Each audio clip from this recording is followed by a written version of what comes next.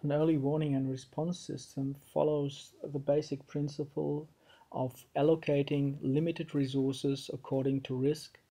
The following demo is purely written in JavaScript and HTML files and is not connected uh, to a database server or a geographic information server. The risk and resource maps are created randomly and uh, they just show a proof of concept how the risk maps and resource maps can be used. Browsers can use the GPS sensor from a smartphone, so these random risk and resource maps can be used offline without internet connectivity. The colors from red uh, to over yellow to green show hotspots of risk, um, medium risk and no risk. The risk layer with the colors is overlaying uh, a real map, here uh, an example from Trivandrum uh, in India. The risk can be determined by temperature, humidity, or the epidemiological relevant garbage in the environment. All these factors um, aggregate a, risk value between 1 and 0. 0 is no risk and 1 is a high risk. So this will be uh, allow us to evaluate risk layers by fuzzy logic methodology. On the other hand, we have a resource layer um, the green spots indicate where we have good availability of resources. The red areas can be um, areas where no resources are available. Resources for in an epidemiological setting can be um, material for fogging, larvicides, or even social workers that help uh, risk mitigation and uh, risk awareness. If we compare uh, risk and resources, we have again this random risk map on the left side with low risk and high risk indicators and uh, the resource map with uh, high availability of resources, the green dots, and low availability of resources, the red areas. And the comparison of both show where the resources cover the risk and the red areas indicate spots where the resources cannot cover the risk. An optimization strategy uh, will reallocate the resources according to risk so that these areas of red spots in the comparison map will be reduced or completely vanish from the map so that uh, at least the map is uh, most of the areas are green and the red spots with high danger for the population will be reduced at least to a red area or a slightly green yellow green area. If we think about smartphone users that are exposed to risk, they evaluate those maps locally with a different user interface. The GPS tailored warning will only provide warnings in the area where they uh, live and um, they will provide access to resources close to their geolocation. Now we look into the intervention setting of this demo. So we have the risk before allocation of resources on the left and the risk after allocation of resources on the right. You see a significant reduction of uh, people exposed to risk. For example, before 393,000 people are exposed to dengue risk and after application of, of resources, larvicides, mosquito nets and so on, we have at least uh, 140,000 people at dengue risk. So there's a risk reduction uh, which is show, shown in the map. These are just random numbers just to explain how it works. Now we're looking at the resources. If we're using resources for risk mitigation, the resources, the availability of resources is reduced. For this example, we had around 400,000 units for fogging and larvicides, and after that, only 175,000 units for larvicides are available. The application of resources reduce the availability of them. And furthermore, if we can identify unused resources in some areas, then we can use them maybe in other areas where there's a high need of resources. When you look on the right side here, then you I could identify that there's no difference between the left and the right side before and after allocation of resources. This indicates that no resources are used. If you compare in the top left corner the resources before and after allocation of resources, you will identify that there's a, a huge decline of the availability of resources. This indicates that resources in that area are used for risk mitigation. If we compare the risk maps before and after allocation of resources, we see a significant difference in the top left corner because the hot spots, uh, red spots in the top left corner nearly vanished. Uh, yellow areas remain because the risk mitigation can, are not fully accomplished in that area, but at least we see a significant reduction.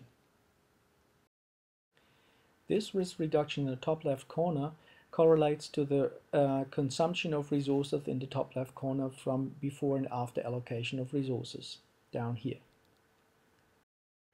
Um, the risk map is, I want to mention this again, is based on random risk maps and resource maps and it shows the basic principles. And it assumes that the uh, resources are having an impact on the risk in that area. But in when you collect data and you use real risk maps and real resource maps, it might be the case that you identify that you allocate resources, but there is no impact on the risk reduction or no significant impact. So if you use real data, real risk maps and resources, then this intervention comparison can also be helpful if the application of resources is really showing an impact on the risk mitigation. And if the application does not show an impact on, on the risk reduction, you might decide to allocate the resources in a different area. Because everything is HTML and JavaScript, it is intended to use offline on a smartphone. So the when there is internet connectivity, you select a certain area from a map which are where you are working in and the selected map including this um, HTML JavaScript interface is downloaded on your smartphone and then it's uh, possible to use them offline maybe for example with a vector control unit. The vector control unit um, applies larvicides or does fogging in certain areas and this data about this um, application of resources is collected offline on the smartphones. When there is online connectivity again, this application of resources may be combined with a larvae count later um, is stored back on the GIS server which is incorporated in the resource and risk mapping uh, for further applications. Because application of resources means that there are less resources available and data about larvae count in certain water bodies in an area will indicate that previous application of resources reduced the risk for the population in that area. A time series is implemented uh, in that demo so that you can uh, adjust the temperature. 100% means perfect for mosquitoes. 100% humidity means perfect for mosquitoes. 15% means uh, almost not perfect for the mosquitoes. Garbage means that a lot of garbage is available in that area as breeding places. So these are example uh, variables that uh, determine the risk and you can adjust them and see how this has an impact on uh, the risk in that area. And uh, step by step you see how the risk evolves. This perfect uh, conditions according to temperature, humidity and garbage will create a risk map with very um, large areas of hotspots if you look down below. If you combine that with real-time uh, temperature and humidity data where the uh, GIS server is populated and uh, the real-time um, or step-by-step -step update of the resources, um, this is an iterative process to allocate the resources step by step according to risk and use uh, the re available resources that are mostly limited uh, to a perfect or almost optimized way for public health risk mitigation. According to fuzzy logic and linguistic values, we can identify areas of low, medium or high risk. This is uh, realized by color codes in the maps. If we look into the map, you can select green only which means you just get the areas of low risk and the other parts of the map are populated with uh, tiles of the uh, real map here of Trivandrum. And if we show the map again, we, we just get the high risk areas, then you just see the hotspots and uh, not the medium and low risk areas. If you combine the risk mapping in a GIS server with an email or communication system of a public health agency, you can decide who will uh, have access to the risk layers and uh, you can for example grant access to the administration of the pub public health agency. You can grant access to the public health workers and you can grant access to everyone with GPS map and uh, so that they are aware of the risk in that area. And you can create an early warning system and send risk info uh, when there a certain area the threshold is exceeded for the risk. And you can send tailored to the to user groups for administration public health workers and people in that area the risk information if we have a short look, look in the underlying IT structure you see that the um, the risk map and the resource map are organized in pixel layers where each pixel has a certain risk value between 0 and 1.